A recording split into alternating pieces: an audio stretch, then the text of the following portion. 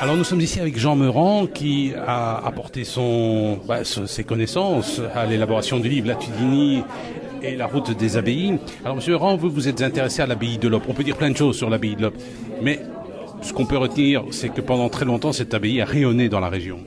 Cette abbaye a effectivement rayonné et on peut dire que la Tudini est presque un enfant de l'abbaye de l'Aube.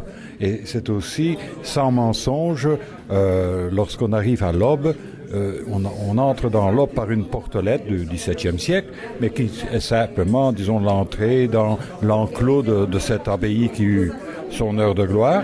Et on appelle cela la porte de la Tudini. Donc, c'est bien dire la parenté et la, presque la paternité de la Tudini euh, euh, adressée à l'abbaye de l'Op. Il reste plus grand-chose comme trace. Hein des, traces. Il reste beaucoup de traces, en fait. Il reste beaucoup de traces. Et c'est cela euh, euh, l'objet, disons, d'une grande passion. C'est de redécouvrir toutes ces traces dans le paysage et dans l'environnement.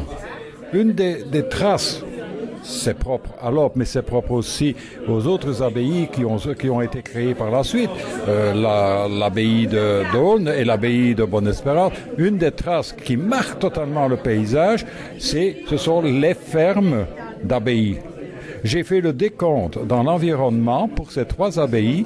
Il, il, existe encore 72 fermes qui portent des noms particuliers et qu'on sait qu'on dit euh, c'était une ferme de l'abbaye de l'Aube, c'était une ferme de l'abbaye d'Aune, une ferme de l'abbaye de Bonne-Espérance. Rien que cela déjà montre, disons, euh, l'importance de la route des abbayes au niveau de, au niveau de la Tudini.